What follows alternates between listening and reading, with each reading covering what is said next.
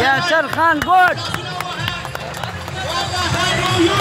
وكيل خان زنداباد